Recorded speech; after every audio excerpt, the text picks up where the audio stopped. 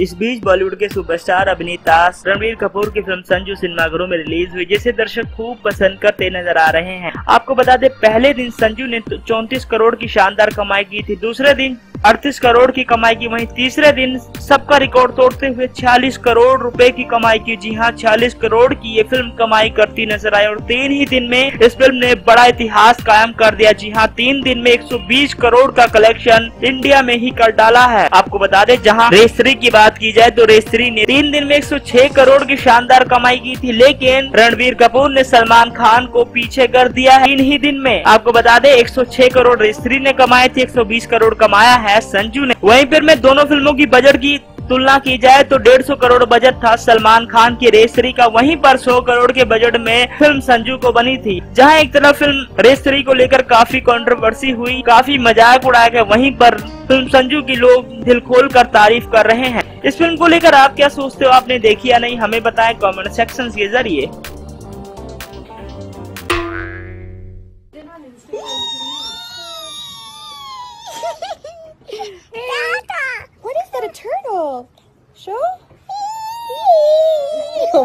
So cute. what is going on? We're all going.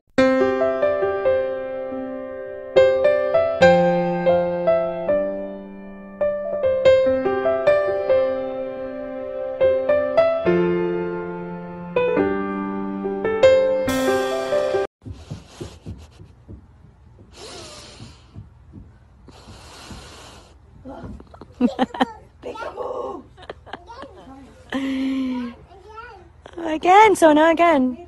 Again.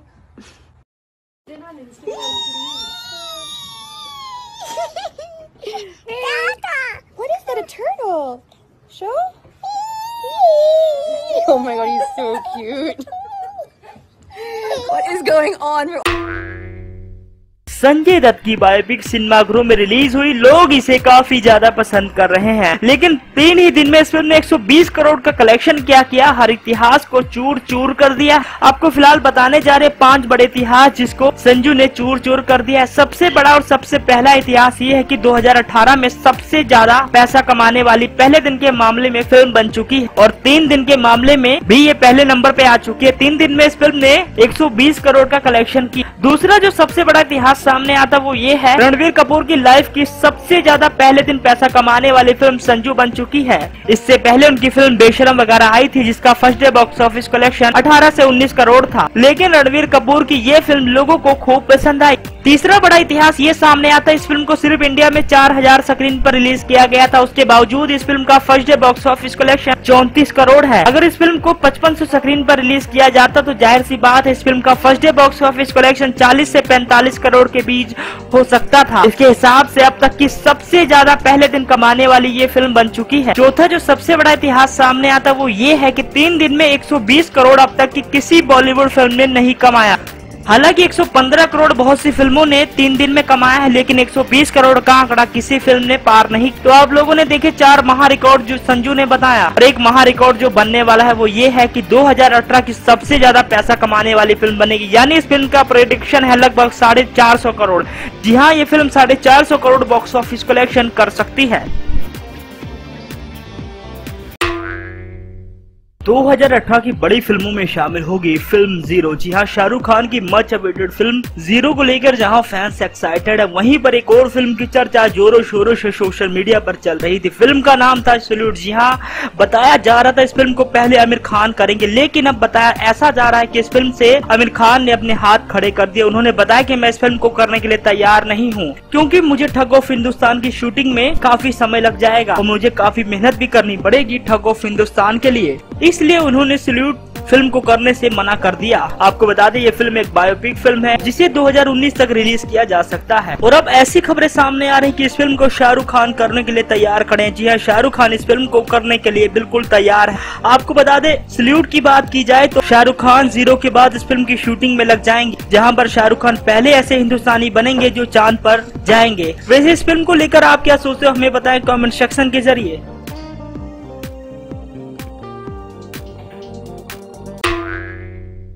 Bollywood के superstar अभिनेता रणवीर कपूर की film Sanju को दर्शक खूब पसंद कर रहे हैं। वहीं पर इस फ़िल्म ने तीन ही दिन में 120 करोड़ का कलेक्शन कर लिया है। लेकिन सबसे बड़ी बात जो सामने आती वो ये है इस फ़िल्म का एक इंटरेस्टिंग करेक्टर जी हाँ करेक्टर का नाम है विक्की कौशल। जी हाँ विक्की कौशल ने जिस तरह ऐसी संजय दत्त की दोस्ती निभाई, आखिर कौन था वो असली करेक्टर जी हाँ संजय दत्त की अगर बायोपिक बनी तो ज़ाहिर सी बात है ये आदमी मौजूद लेकिन बड़ा सवाल ये है की आदमी कौन है? चलिए आपको बताते हैं इस आदमी के सच्चाई जिसका रोल विक्की कौशल ने फ़िल्म संजू में काफ़ी बेहतरीन तरीके से निभाया इस शख्स का नाम है परेश गिलानी। जी हाँ परेश गिलानी इस शख्स का नाम है, जहाँ पर संजय दत्त की खूब मदद करता नज़र आया। हमेशा ही संजय दत्त की हर सिचुएशन में ये लड़का संजय दत्त की खूब मदद करता नज़र आया। आपको बता दें, उन दिनों जब संजय दत्त जेल में रहते थे तो उनके पिता को दूसरा उनका बेटा बन के सवारा करते थे परेश गिलानी। आप लोग देखिए कुछ फ़ोटोज़ उनकी। सोशल मीडिया पर लगातार वायरल हो रही इसका लेकिन बड़ी बात तो यह है बिक्की कौशल ने परेश गिलानी का रोल काफ़ी बेहतरीन तरीके से निभाया। आप लोग देखिए संजय दत्त के साथ इनकी कुछ खूबसूरत फ़ोटोज़।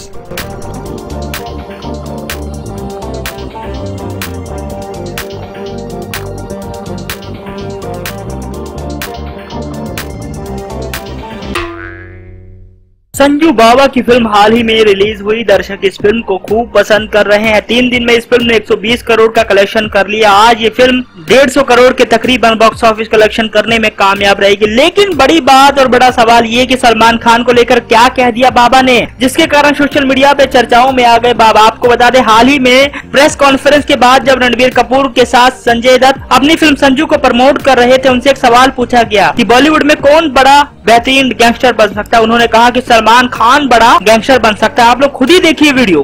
अरे बहुत बहुत एक्टर्स हैं। आई मीन सलमान अच्छा करता है।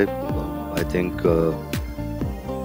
वो रणबीर सिंह बहुत अच्छा करेगा and I think even Ranbir अभी। यू नो आई थिंक वो बॉडी लैंग्वेज वो सब है इन लोगों में। And that's it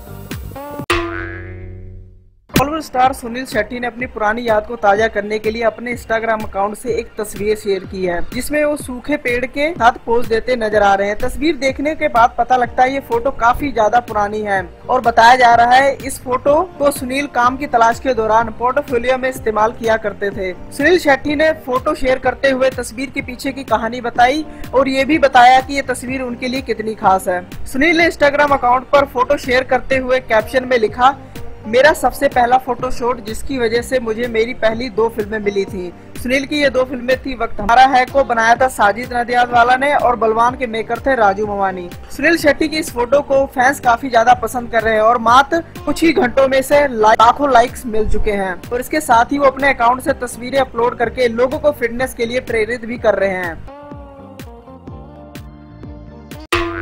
बॉलीवुड में सिक्का चलता था, वो चलता है सलमान खान का। जी हाँ बॉलीवुड सुपरस्टार सलमान खान की हाल ही में टाइगर ज़िंदा है। देखिए, जिसने साढ़े पाँच सौ करोड़ का बॉक्स ऑफ़िस कलेक्शन किया 2017 की सबसे ज़्यादा कमाने वाली फ़िल्म टाइगर ज़िंदा ही थी। हाल ही में सलमान खान की मच अवेटेड फ़िल्म तीसरी सिनेमा गृह में रिलीज़ हुई, लेकिन उसे फ्लॉप का दर्जा दे दिया गया, क्योंकि फ़िल्म की कहानी कुछ खास नहीं थी। दर्शकों ने फ़िल्म को सिरे से ही नकार दिया। लेकिन सलमान खान की पाँच बड़ी फ़िल्मों के बारे में हम आपको बताने जा रही जो बॉक्स ऑफ़िस पर बड़ी मात्रा में धूम मचाएगी। सबसे पहली और सबसे बड़ा धमाका होगा फ़िल्म भारत। जी हाँ फ़िल्म भारत के बारे में आप लोगों ने सुना ही होगा, जिसमें कास्ट कर लिया गया है प्रियंका चोपड़ा, तब्बू को। इस फ़िल्म को डायरेक्ट करे अली अब्बास ज़फ़र हम ऐसी बात इसलिए कर रहे हैं क्योंकि अली अब्बास ज़फ़र सलमान खान के साथ अब तक दो फ़िल्में ब्लॉकबस्टर दे चुके टाइगर ज़िंदा है और सुल्तान, जिन्होंने सबने 500 करोड़ से ऊपर की कमाई की तो भारत भी काफ़ी बड़ी मात्रा में हिट होने जा रही है। दूसरा बड़ा धमाका है सलमान खान का शेर खान जी। हाँ शेर खान की चर्चा 2017 से ही हो रही है। शेर खान की बात की जाए तो इसे अरबाज खान प्रोड्यूस करते नज़र आ सकते हैं। इस फ़िल्म की